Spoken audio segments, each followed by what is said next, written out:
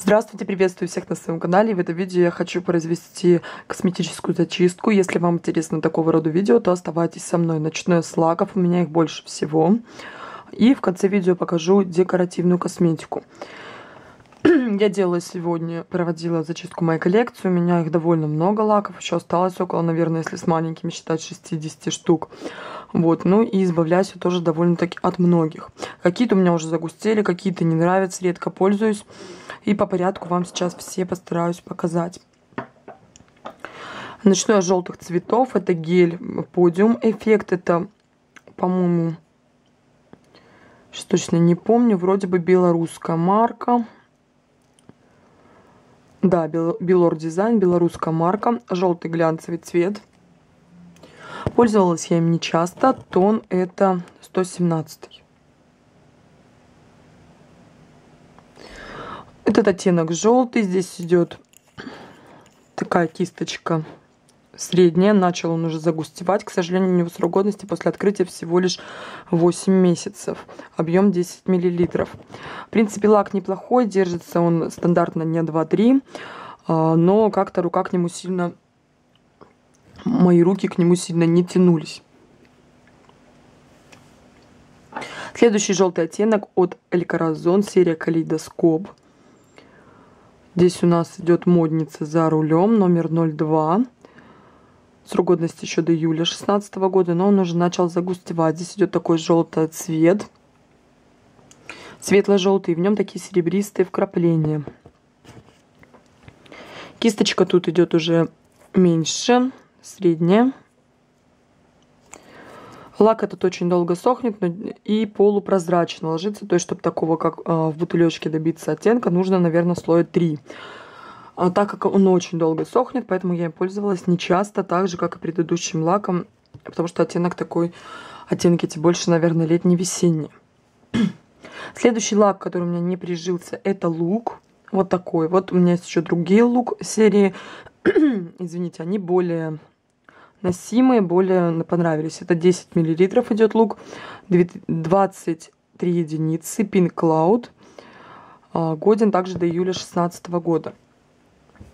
Такой вот идет нежно-нежно-розовый, практически нюдовый оттенок. Наносится он, вот видно, что он какой-то неравномерный, наносится плохо. Кисточка идет здесь тонкая, обычная. Лак мне не очень понравился, не очень понравился, ложится неравномерно и держится он недолго. Его не советую.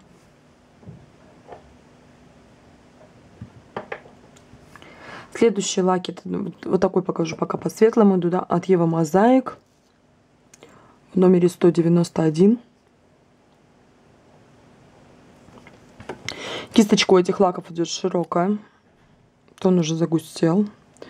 Оттенок был очень симпатичный, по-моему, с эффектом соли или перца. Я точно не помню, это была новинка, такой он мятный, с серебристыми вкраплениями. Интересный оттенок, но пользовалась я им мало, он у меня стоял в основном. И поэтому уже тоже загустел, видать, пришел его срок. Тоже не скажу, что очень мне нравился и был моим любимым, потому что эти лаки не очень стойкие и тяжело стирается именно этот оттенок. Но, в принципе, так же, как и калейдоскоп, они похожи чем-то только разные цвета. Следующий лак лук вот из этой уже серии я вам покажу. Это э, голубой такой цвет. Светло-голубой. Номер 31273 Baby Blue. 8,5 миллилитров. Тут уже идет прорезиненная такая вот щеточка. Кисточка с другой стороны. Сама кисточка средняя. Этот лак очень жидкий и он в один слой, естественно, полосит. В два слоя он дает более-менее нормальное покрытие, но он не стойкий. Он держится, наверное, около одного дня. Поэтому именно вот глянцевый вот этот номер я не советую. Хотя у меня были другие из этой серии. Допустим, темно-синий, он держится намного дольше. Следующий оттенок я покажу недавно. Покупка пользовалась один раз и поняла, что не буду пользоваться еще с Лёлей. Привет тебе, Лёль. Смотришь меня от Салли Хэнсон в номере так, сейчас найду, если скажу вам. 230. Какая-то слива, очень хороший такой насыщенный оттенок сливовый, сиреневый, уходящий в сливу. 1,8 мл. Это Салли Хэнсон. Та же проблема, что с лаком лук, он держится около меньше даже. Вот этот, если может один день, то этот вообще меньше дня держится. Очень нестойкий лак. Кисточка здесь идет тонкая. И тоже лак очень жидкий. Но так как покупали его по распродаже, то не очень обидно. Я эти лаки, которые нормальные, буду отдавать. Которые а, уже загустели, буду выкидывать. Следующий оттенок от Эль Коразон вот такой. Вот он у меня попадался, по-моему, за победу в конкурсе. Это номер 423. Эффект перепелиных яиц, белый с черными и серыми вкраплениями. Красивый лак, но он уже начал загустевать. Идет 16 мл большой. Это актив биогель. То есть эти лаки можно наносить без покрытия. Сохнет очень долго. Кисточка здесь идет стандартная средняя. В принципе, мне кажется, таким покрытием можно пользоваться в основном зимой, поэтому я, собственно говоря, им так и пользовалась. Сейчас с этих, наверное, либо пододвину, да, чтобы все в кадре были. Потом буду в следующий ряд уже ставить. Следующий лак покажу также от Эль Corazon. Matte and Shine эффект, то есть матовое и сияющее. Покрытие 16 мл, зеленый такой оттенок. Номер его даже не знаю.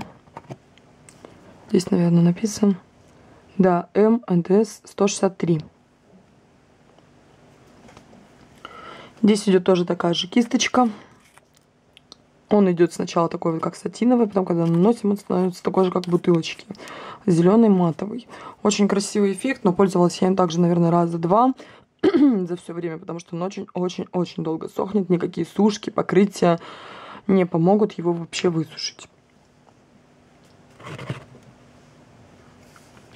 Буду ставить уже вторым рядом. Следующий лак это будет у нас, который у меня был в поменяшке от Кати по оттенку. Здесь вроде бы как с этим рядом близко. Бирюзовый с серебристыми блестками. Песочный эффект Elvin Do.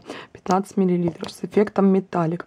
Воспользовалась также, наверное, пару раз, потому что сложно стирается этот лак. Он идет со стандартной такой, вернее даже с толстой кисточкой, он идет не со стандартной. Также начал загустевать уже. Оттенок красивый, номер его 1019.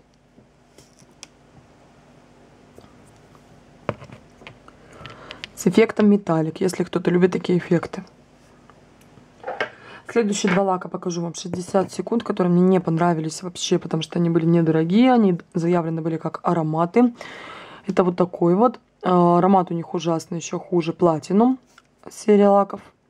Недорогие, в районе 50-60 рублей стоят. Этот тон 56, 13 миллилитров идет. Глянцевый мятный цвет. Цвет хороший, но лак мне не понравился. Ни по стойкости, ни по запаху, ни по нанесению. Очень тонкая кисточка и жидкий. Первый покажу вам, они абсолютно одинаковые, на мой взгляд. Оба оттенка, и больше, наверное, такие брать не буду. И второй идет розовый. Тон 29. Светло-розовый, мятный цвета красивые, мне нравились, но так как ни стойкость не нравится, ни запах, ни нанесение, в один слой они, естественно, полосят, в два смотрится так не очень аккуратно. Следующий лак, который я вам покажу, это был у меня в посылке от Лалы. Если смотришь тебя, привет. Раньше был канал Леди Шок. Вот такой вот лак я им редко пользуюсь. 414 от Эйвелин Голографик. В таком вот красивом фиолетовом оттенке. Кисточка идет стандартная. Уже тоже немножко начала подгустевать и пользовалась нечасто. От Evelyn лаки вот благодаря, ну, как бы я попробовала, да, мне не очень понравились. Вот сейчас у меня, в принципе, от Лала нанесен второй оттеночек. У меня его, к сожалению, сейчас нет с собой от Диваш. Также из посылки. Мне он очень нравится. Это с новым покрытием, которое я показывала Dons от Dance Legend. Вот, я использовала сегодня в маникюре. Со звездочками, которые было сложно выудить, и с, вкрапин, с краплениями. Вот, но это мой маникюр с другим лаком от Лалы. Этот лак у меня не подошел, номер был его 10 мл, 414. Следующие оттенки пойду я уже тогда в третий ряд. Также покажу от марки, которая уже была здесь, Dor. Вот такое покрытие. Икра голографическая. Это я покупала сама у нас в магазине. Очень красивое покрытие, которое можно использовать отдельно или, ну да, скорее отдельно, не как топ. Тон 2606. Лаки Dor, в принципе, полупрозрачные. Мне они не очень нравятся. И, скорее всего, покупать их больше не буду. А, вот, то есть и держатся они, соответственно, недолго. Этот уже начал загустевать, поэтому я его и... Вот, видно, наверное, что уже его не нанести нормально. Буду от него избавляться. Кисточка была средняя. Само покрытие это очень красивое, переливается, особенно на, с красными, допустим, с какими-то оранжеватыми лаками. Смотрелось очень хорошо. Белое, красное, оранжевое, черное вкрапление. Смотрелось красиво. Так, ну поставлю сюда тогда. В следующий ряд пошла. Следующий лак от Dance Legend. Очень мне нравился. Один из самых удачных лаков и оттенков. Это у нас номер 10 Сахара. Сейчас попробую показать его. Вот видно десятый тон. Это песочный лак. Очень красивый цвет. Мне он очень нравился. Был один из моих самых любимых. Но, к сожалению, начал загустевать. Такой он темно-коричневый, но с разными блестками. С розовенькими, с бордовыми. Но тон этот был десятый. Как я уже сказала, срок годности хотя стоит до 17 года, но уже он загустел, к сожалению. Кисточка тут идет стандартная такая, средняя. И после того, как он высохнет, он приобретает такой больше матовый оттенок, темно такой коричнево-бордовый цвет. Очень красивый, советую к нему присмотреться. Если у кого-то есть лаки этой серии марки, то этот тон очень хороший, красивый. Так, следующие два, которые у меня остались, это от Лимани. Такой вот оттеночек у меня практически закончился. В принципе, мне он нравился. Номер 793. Держался он неплохо, оттенок нежно-розово-сиреневый. Кисточка маленькая, не очень удобная, но все-таки тоже начал чуть-чуть подгустевать. Красивый такой перламутровый оттенок, могу его посоветовать. Лаки от Лимони, в принципе, неплохие. У меня сейчас есть еще один. Так, и последний лак, на котором я долго не буду останавливаться. Это у меня он был в покупках, которым я пользовалась один раз. Именно вот этот тон мне не подошел от умной эмали. 11 миллилитров. Не помню точно. А, 367. Еще раз покажу. У нас он был по распродаже. Я его брала за 50 рублей. Сюда вот к фиолетовому поставлю. Поэтому не так обидно. Вот, собственно говоря, такого большого количества лаков я избавляюсь. Могу даже вам сказать, сколько штук я не считала. Раз, два, три, четыре, пять, шесть, семь, восемь, девять, десять, одиннадцать, двенадцать, тринадцать, четырнадцать, пятнадцать, шестнадцать. Шестнадцать штук лаков я избавляюсь от них. И у меня практически ничего в коллекции не меняется, за исключением того, что мне понадобятся желтые цвета. Вот, потому что я очень люблю желтый лак летом. Мятных, возможно, еще можно будет посмотреть. Но это я буду смотреть уже не знаю в каких других марках, либо магазинных, либо Avon Faberlic, скорее всего. Потому что Oriflame я пока сейчас не заказываю. Дальше я вам покажу свои косметику, которую я уже либо выбрасываю, либо отдаю. Такой вот бальзамчик от, не знаю даже какой марки, в общем, который я покупала в Латуаль. Honey Мил, вот здесь вот написано. Такой бальзамчик, срок годности 12 месяцев, сделан в Италии. Стоил он очень небюджетно, но мне не понравилось, что он совсем вообще сухой. Вот я покажу, сколько у меня его практически целый. Он пахнет очень приятно, слад, сладенько медом. Вот если мы его наносим, может быть, вам будет видно, что вообще никакого вот просто ноль эффекта. Я этот бальзам не советую. Стоил он, наверное, где-то рублей точно сейчас уже не вспомню, но, но точно больше 100. Может быть 150, может быть 200, но я его попробовала и больше брать не буду. Следующее, что я вам покажу, это будут, э, ну давайте еще один бальзамчик, который у меня больше половины уже нету. Этот Фаберлик лимонный Монпансье бальзам для губ. К сожалению, здесь изменился аромат, но бальзам мне этот очень нравится. А, у него срок годности маленький, 6 месяцев после открытия. У меня, наверное, он прослужил месяца 2-3. У меня уже его ближе к концу. Он очень жирненький, приятно пахнет, на него хорошо, хорошо ложится помада, блеск. Могу его посоветовать. Я сама уже, как бы можно сказать, что моими любимыми мастхэвами стала эта серия. У меня сейчас есть вишневый и э, пролине. Также я собираюсь еще землянику себе приобретать и, по-моему, облепиху, вот что-то из этого. Ну, в общем, понравилась мне эта серия. Буду дальше пользоваться этими бальзамчиками.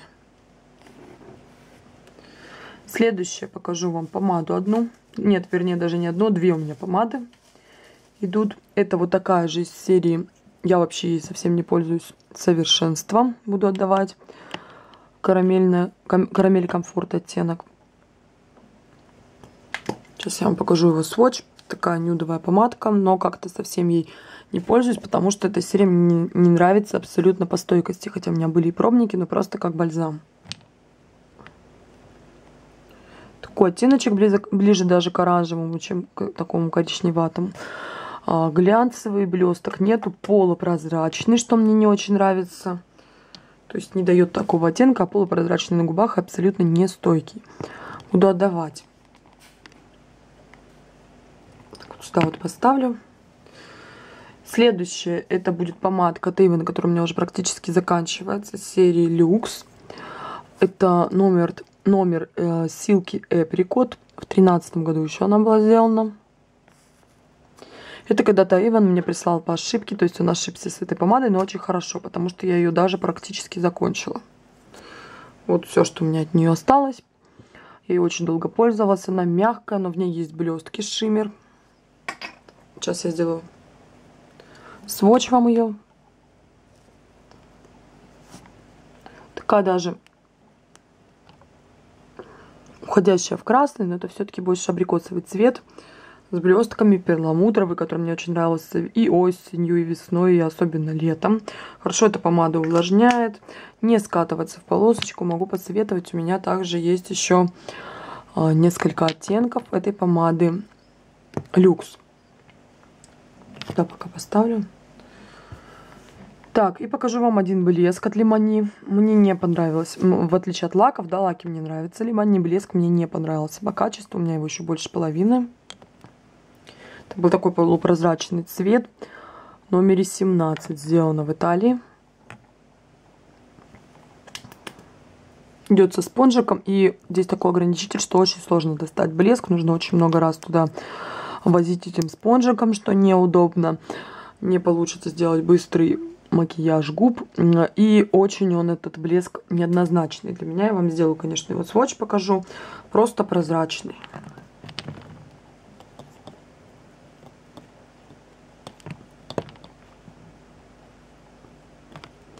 Отсвечивает.